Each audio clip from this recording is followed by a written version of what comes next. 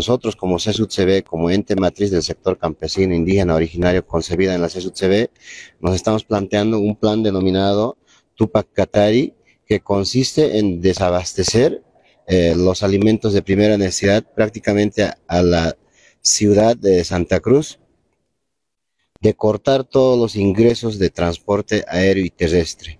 Esto estamos coordinando con las nueve federaciones departamentales para ver en qué fecha iniciamos con este cerco, porque desde mañana nuestros afiliados ya inician con el cerco a la ciudad de Santa Cruz.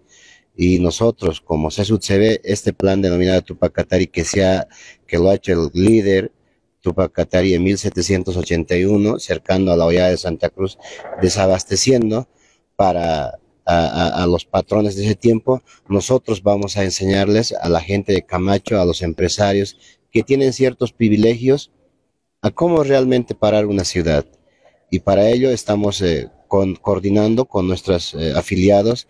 Eh, estamos para empezar por lo menos con un millón de, afiliados del sector campesino. No olvidemos que la CSUCB tiene cuatro, cerca de cuatro millones de afiliados en todo el territorio nacional. Y como una situación de solidaridad, a nuestros hermanos campesinos de Santa Cruz, vamos a eh, ejecutar en el transcurso de los días este plan denominado Tupac Katari 1781, para, para que esta gente, el día que Camacho tenga hambre, se le antoje comer a, al señor Calvo o viceversa. Entonces, eh, estamos en coordinación con nuestros afiliados para ver este tema de, del plan Tupac Katari en, el, en la ciudad de Santa Cruz. Sí, yo he visto el día domingo, estaba el el día sábado, el primer día de paro, eh, con bloqueos, ellos han dicho paro, pero no han anunciado en ningún momento bloqueo, paro con bloqueos. Tienen todo el derecho de parar Santa Cruz cuantos días quieran, pero no pueden perjudicar al resto de la ciudadanía eh, impidiendo todas las actividades que quieran desarrollar.